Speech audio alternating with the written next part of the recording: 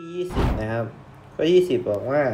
จากวงจรข้อใดกล่าวไม่ถูกต้องนะครับอ่าจากวงจรตรงนี้นะ ข้อใดกล่าวไม่ถูกต้อง ข้อ 1กำลังไฟฟ้าสูญเสียตกค่อมที่ตัวต้านทาน 1 โอห์มมีค่า 4 วัตต์กระแสไฟฟ้าที่ไหลผ่านตัวต้านทาน 3 โอห์มมีค่าน้อยกว่าจุด B กระแสไฟฟ้าที่ไหลผ่านแอมมิเตอร์จุด A ด้วย B มีขนาดเท่ากับ 2 แอมแปร์โอเคถามประมาณนี้นะ ทีนี้เราไปดูสถานการณ์บอกว่า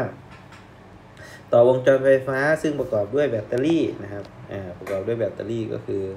ตรงนี้นะครับแบตเตอรี่ 12 โวลต์นะแล้วก็แอมมิเตอร์นะครับแอมมิเตอร์อยู่ตรงนี้นะครับแล้วก็โวลต์มิเตอร์นะครับโวลต์มิเตอร์อยู่ตรงนี้นะครับและตัวต้านทานต่างๆทั้งรูปนะครับ ข้อที่หนึ่งให้หาข้อที่ไม่ถูกนะข้อที่หนึ่งก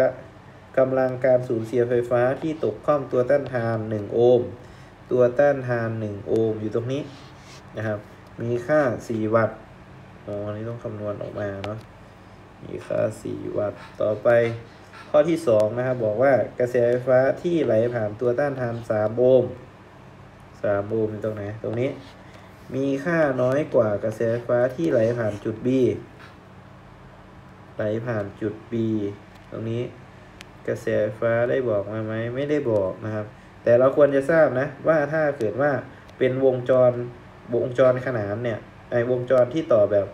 ขนานกับแบบอนุกรมเนี่ยคือถ้าเป็นแบบอนุกรมที่เราต่อมาสายยาวตัวเนี้ยเราตีเป็นแบบอนุกรมเนี่ยค่ากระแสไฟฟ้าเนี่ยจะไหลเท่ากันทุกวงจร สมมติครูให้เป็นอ่าสี่กระแสไฟฟ้าเป็น 4 แอมแปร์นะครับ 4 แอมแปร์ไหลมาถึงนี่ก็ต้อง ไหลผ่านจุด B เนื่องจากมันเป็นเส้นเดียวที่จะเข้าหาาตัวแบตเตอรี่เนี่ยนะครับตรงนี้ก็จะไหลประมาณ 4 แอมแปร์เหมือนกันนะครับแต่ว่าถ้าเกิดว่ามันมาแยกแบบนี้เหมือนกับท่อน้ำถ้าเราต่อแยกออกแบบนี้ซึ่งตรงเนี้ยต่อเป็นท่อท่อขนาดเล็กใช่ไหมอ่าอันนี้ความต้านทานมันเยอะใช่ไหมครับ กระแสไฟฟ้ามันก็จะไหลน้อย ส่วนตรงนี้ ถ้าเกิดความต้านทานมันน้อยกระแสไฟฟ้าก็จะไหลเยอะ ดังนั้น ถ้าเกิดว่ามันไหลมาฝั่งเนี้ยอาจจะไหลสัก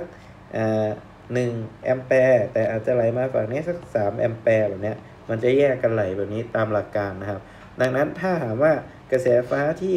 ผ่านตัวต้านทาน 3 โอห์มมีค่าน้อยกว่ากระแสไฟฟ้าที่ผ่านตัว B เนี่ยนะครับ ข้อนี้ก็ถูกอยู่นะนะครับเพราะว่า อันนี้มันจะแยกแยกไหลไป B มันไหล 4 แอมแปร์นะครับอ่าต่อไปข้อที่ 3 นะครับอ่าเดี๋ยวเราพิจารณาข้อที่เราพิจารณาได้ก่อนนะ ส่วนการคำนวณเนี่ยครูจะเก็บไว้ที่หลังนะครับ ถ้าเรายังหาข้อที่มันถูกไม่เจอค่อยกลับไปคำนวณ ไม่งั้นมันจะเสียเวลานะครับ ต่อไปข้อที่ 3 บอกว่า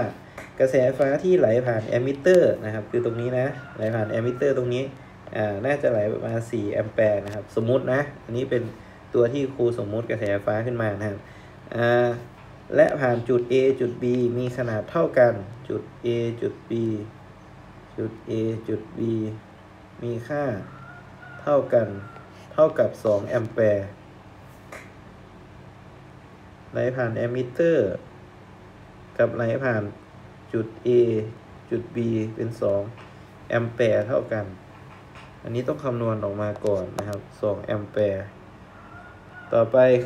ข้อที่ 4 บอกว่าอ่านค่าความต่างศักย์ตกคร่อมตัวต้านทาน 6 โอห์ม คือตรงนี้ จากโวลต์มิเตอร์มีค่าเท่ากับ 12 โวลต์ 12 โวลต์ 6 โอห์มตรงนี้จะได้ 12 โวลต์ไม่ใช่แล้วนะครับ เพราะว่าอะไรเพราะว่ามีตัวต้านทาน 2 โอห์มตรงนี้ขั้นอยู่นะครับ ดังนั้นค่าความต่างจากที่ที่ตัวจะได้รับเนี่ยมันจะต้องน้อยลงนะครับ จะต้องน้อยลงดังนั้นจะไม่ใช่ค่า 12 โวลต์แน่นอนนะครับ ดังนั้นข้อที่ผิดก็คือข้อที่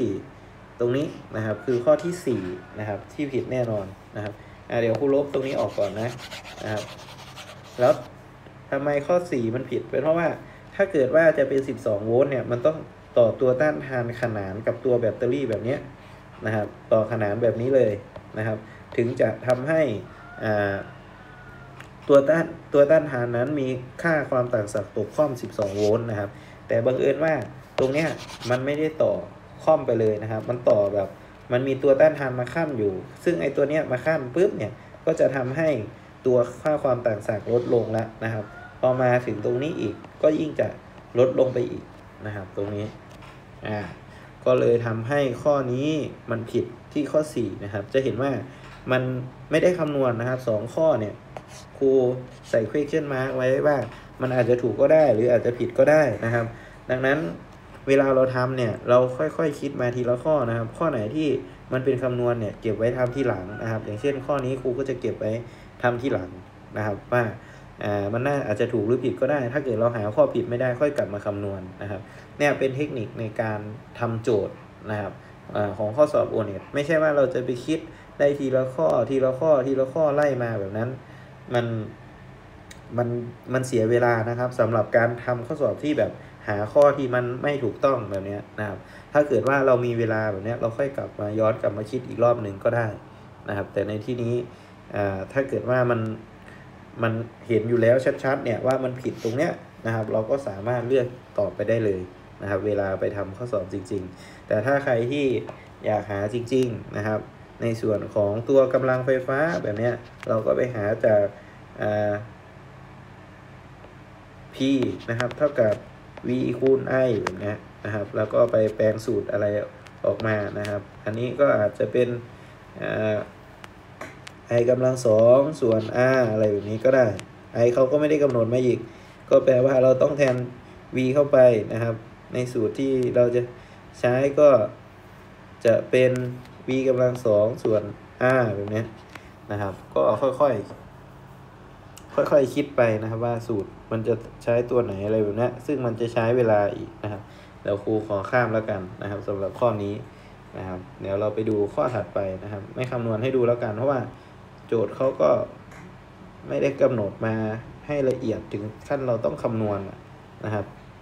โอเค เดี๋ยวไปดูข้อถัดไปนะครับ ข้อที่ 21 นะครับ ตรงนี้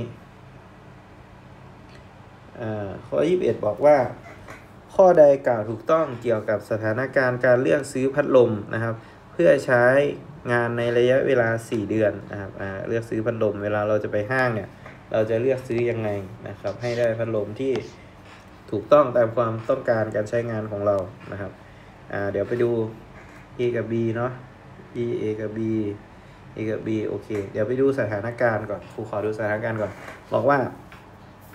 นาทีต้องการซื้อพัดลมขนาด 18 นิ้ว เพื่อเปิดใช้งานขณะอ่านหนังสือทบทวนบทเรียน ภายในระยะเวลา 4 เดือนนะครับเดือนละ 25 วัน โดยแต่ละวันจะใช้งาน 5 ชั่วโมงกำหนด 5 ค่าไฟคือ 4 บาท ร้านขายพัดลมเสนอขายพัดลมยี่ห้อ A กับ B โดยระบุสมบัติทางไฟฟ้าและความเร็วหมุนดังนี้นะครับ ก็จะได้ว่า การทดสอบการหมุนของใบพัดนะครับ แรงดันไฟฟ้ากระแสไฟฟ้า แรงดันไฟฟ้าโอเค หรือค่าความต่างศักย์นะครับ V ใช้เท่ากันกระแสไฟฟ้ากระแสไฟฟ้า A เนี่ยใช้ไฟเยอะกว่า B นะครับ แปลว่า B เนี่ยประหยัดกว่านะอ่าแต่ว่าจำนวนรอบการหมุนเฉลี่ยของพัดลมอ้าว B มากกว่าแล้วสามพันหกร้อยรอบ ระยะเวลาที่ใช้ อ๋อ ระยะเวลาที่ใช้ในการทดสอบ อันหนึ่งสามนาทีนะครับ อันหนึ่งหนึ่งนาที ดังนั้นเราต้องปรับให้เป็นหนึ่งนาทีเหมือนกันก่อนนะ ถ้าเราจะปรับให้เป็นหนึ่งนาทีเหมือนกันก็คือเอาสามนาทีมาหารนะครับ เราก็จะได้ความเร็วรอบในหนึ่งนาทีนะครับหนึ่งนาทีตรงนี้ให้เหมือนเหมือนกันก็คือสามหนึ่งสามสามสองหกนะครับอ่าความเร็วรอบเท่ากันนะครับ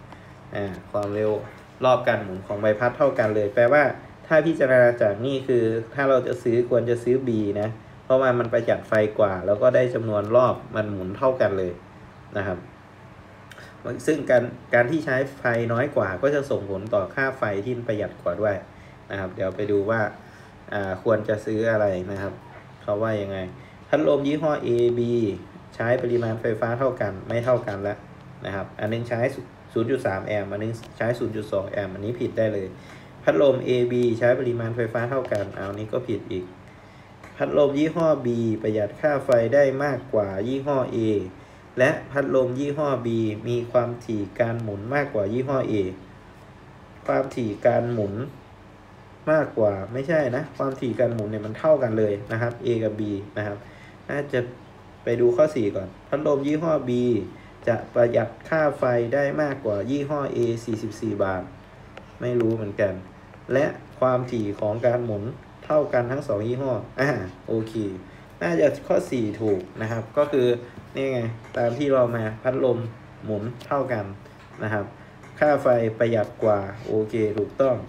แต่ไม่รู้นะว่า 44บาทหรือเปล่า ไม่ได้คำนวณนะครับ คือครูตั้งใจไม่ไม่เฉลยไม่ไม่แสดงวิธีการคำนวณค่าไฟออกมาให้ดู เพราะว่าครูอยากให้รู้ว่าเวลาเราไปทำข้อสอบโอเน็ตอะ เราไม่จำเป็นต้องหาให้มันได้แบบ 44 บาทเลยแบบเนี้ย แค่เราตัดช้อยรู้ว่าตรงนี้เขาบอกว่าใช้ไฟปริมาณเท่ากัน เรารู้อยู่แล้วว่ามันไม่เท่ากันเนี่ยเราก็ตัดช้อยทิ้งเลย ตรงนี้บอกว่าพัดลมยี่ห้อ B มีความถี่การหมุนมากกว่ายี่ห้อ A แบบเนี้ยคือเราก็ตัดทิ้งไปเลยนะครับ เพราะว่าเราคำนวณออกมาแล้วมันหมุนเท่ากัน ถามว่าเราจำเป็นจะต้องไปหาค่าไฟไหมในเมื่อ 3 ข้อนี้มันผิดไปแล้ว มันก็ไม่จำเป็นนะครับ มันเสียเวลาโดยเปล่าประโยชน์นะครับ เหมือนกันกับข้อเนี้ยเราก็ไล่มาไล่มาเลยถามว่าเราต้องไปหาไหมว่ามันเป็นกี่วัตต์หาไหมว่ามันเป็น 2 แอมป์จริง ๆ ก็ไม่จำเป็นต้องไปหาเพราะว่ามันมีข้อที่มันผิดชัดเจนอยู่แล้วตรงนี้ นี่คืออวิธีในการที่เราจะทำข้อสอบโอเน็ตให้ได้ทันเวลานั่นเองก็คือเขาต้องการฝึกให้เราวิเคราะห์ตัดช้อยออกไปเรื่อยๆนะครับ ตามสถานการณ์ นะครับ หลายคนบอกว่าโจทย์หนึ่งหน้าต่อหนึ่งข้อสองหน้าต่อหนึ่งข้อจะทำได้ทันได้ไงคือ ถ้าเกิดเราไปทำทั้งหมดอะมันไม่ทันแน่นอนครับ ถ้าเราจะคำนวณให้ได้กำลังไฟฟ้าให้ได้ค่าไฟที่แน่ชัดแน่นอนแบบนั้น มันทำไม่ได้ แล้วเขาก็ไม่ได้มาตรวจวิธีทำเนี่ย ว่าเราทำเราต้องทำแบบ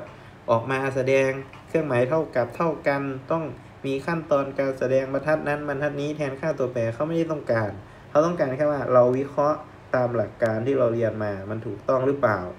นะครับ ก็จะสามารถตอบข้อสอบโอเน็ตได้ แล้วก็สามารถทำได้ทันเวลานั่นเองครูอยากให้ฝึกตรงนี้บ่อยๆนะการตัดช้อยกันเนี่ยนะครับเห็นไหม